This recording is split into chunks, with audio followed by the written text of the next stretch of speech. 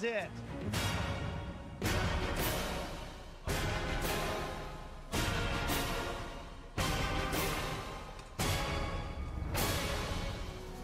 Kim wins immunity and a guaranteed spot at the final tribal council.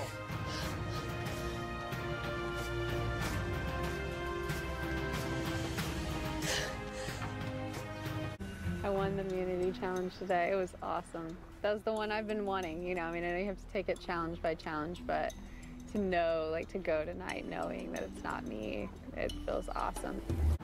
Don't be sorry. It's all part of the game and everything. So, you know, I made it all the way to the final four.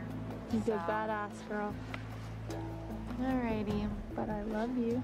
I love you too. I don't take Had a hell of a good time with I you. know. tired, just really, really ready for this to all be over. Yeah. But good. And Christina just came up to me and said, I'd rather just know. And I was like, it's you. Really? We hugged. I mean, it's like, it's hard to not take her. Because I feel like she doesn't get any votes. I know. So, the interesting thing about Christina's response is that she literally didn't fight for it. I feel like I did make my decision to go with Chelsea and Sabrina, but I think I'm starting to second guess myself. Like up until this point, there was less at stake, you know? I mean, it's like there were more chances to go home. And I mean, the decision is gonna change who I sit there at the end with. I think if I do take Christina, then I really don't think she could get one vote. And I do think Sabrina will receive quite a few more votes than Christina would. So I'm gonna try to just make what I think is the best decision for myself in this game. 15th person voted out and the ninth and final member of our jury. Christina, need to bring me a torch? Yeah. Day 39. May the best woman win. Yes. Cheers. Cheers. This year has been kind of a tough year for me. I just recently got divorced and, you know, coming out of a really tough marriage um, after almost four years, you look back and you're like, man, I got married to this person and wow, it really doesn't work. You, it sort of shakes something in you. So coming out here and having to make decisions quickly day in and day out and have them work and, and get to sit here at the end and say, wow, those decisions worked out and it went really well.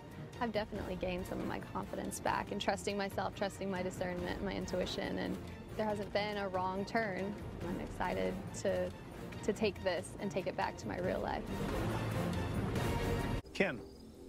I love this game. I've always seen it as a game. Coming into it, I thought I saw it as poker, and you do everything you can do to, to sit here at the end of this game. And so that's where my head was walking into this. I thought, no rules. I'm going to come in and I'm going to play as hard as I possibly can. That's all I know to do. I strategized until I was blue in the face, and I'm proud of the way that I played it strategically. I don't know how I could have done it any better. And every time I sent one of you home, um, that took a toll on me, and that's been really, really hard. But every time I was tempted to make a decision within this game, I thought of my family back home and the things that you wanted to, to provide them with, and the things that you wanted to do with the money to change their lives, and how I'd known you all for 20 or 30 days, but how they've been pouring themselves into me for years and years.